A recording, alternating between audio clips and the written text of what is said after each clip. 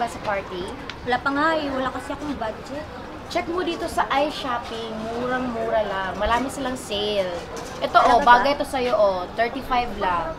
Ay, Oh, oo bagay nga. yan, di ba? Perfect. Dress na siya, no? Ay, Yes. perfect. Of course. Sige, paano ba mag-order dyan? I-ano mo lang, uh, like mo yung page ng iShopping. Bishi, ikaw may susutin ka na? Ito oh, ano, sa iShopping. Tingnan mo to yung mga sa page nila. iShopping, ang ganda. Tag 30 lang oh ito, ba? Pang OOTD na. Laki nga ng problema ko. Short kasi ako, Besh. Sure ka na naman. Oo, nagpa, nagpadala kasi ako. Tapos humingi pa yung mama ko, yung papa ko, yung kapatid ko, mga pinapaaral ko pa. Wala na akong budget. Pasko pa naman sa atin. Ano ba yan?